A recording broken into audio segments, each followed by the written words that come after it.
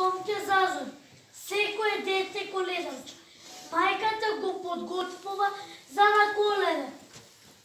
Го променува во нова облека. Му го става торбичето на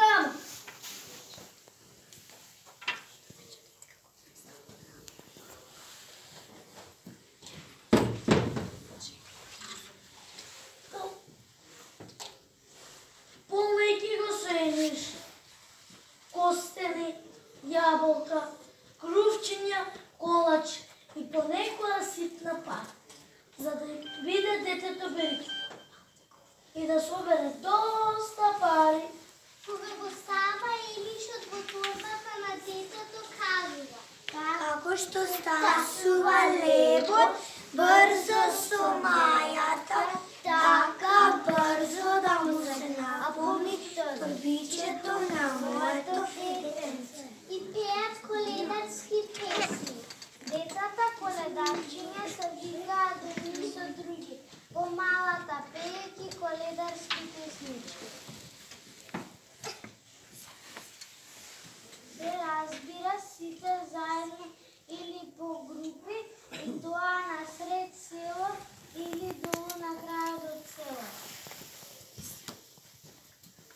Коледе, леде, ајде Дарјан, ајде Никола, коледе, леде, ајде Тона, ајде Дарко, коледе, леде.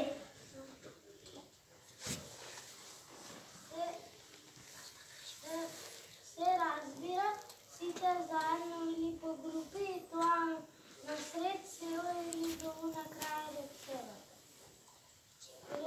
Коледарчињата се распоредуваат така што Малите се насред, а поголемите се на крајот за да ги бранат од кучињата. Од долните куки до горните куки, одат за напред. Коледарчињата се собираат во група и тргаат кон првата куќа.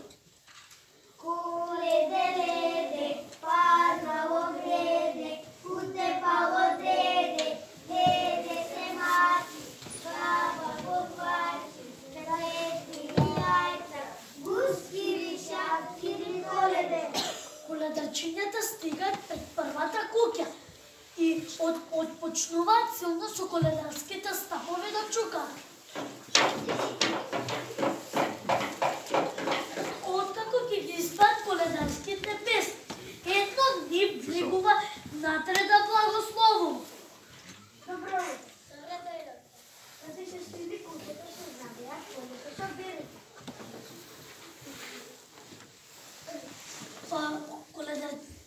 Сите коледарчиња влегуваат внатре, преку нив фрлат до три пати од овошјето, житото и ситните пари, благословувајќи ги.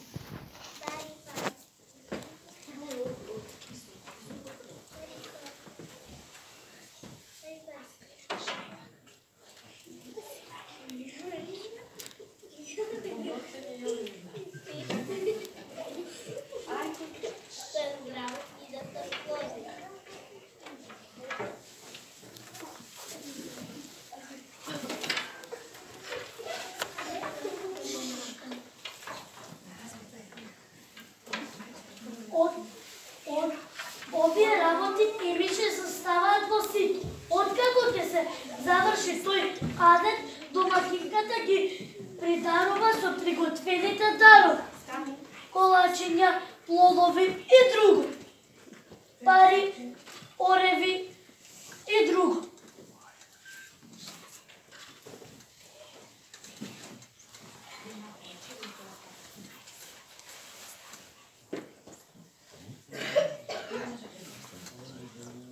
Коледарчињата избегуваат од куќата радосни пејки коледа коледа.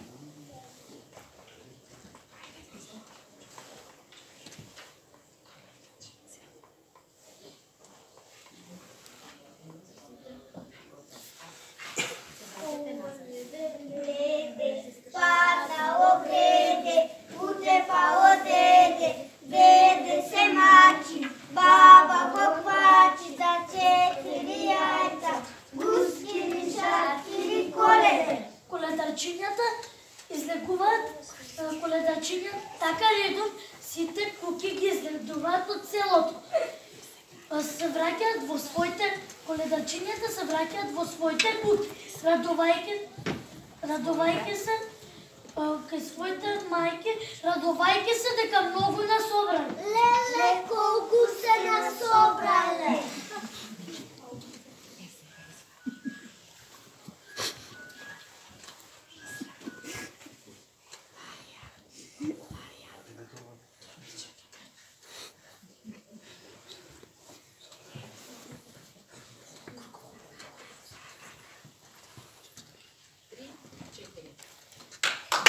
Bravo.